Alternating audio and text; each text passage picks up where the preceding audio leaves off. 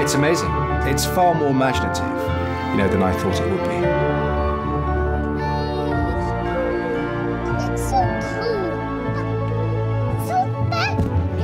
The best thing in my room is the pirate ship and the oyster shark and the crab. Hey,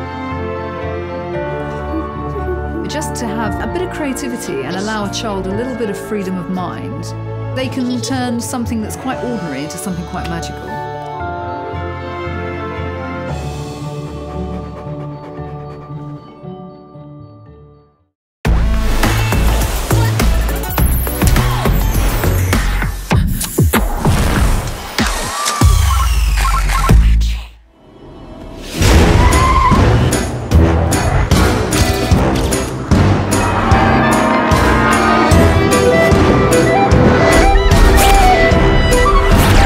Game is on.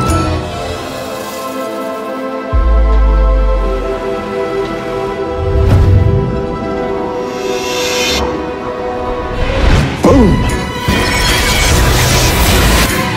He does love to be dramatic. From the beginning, then.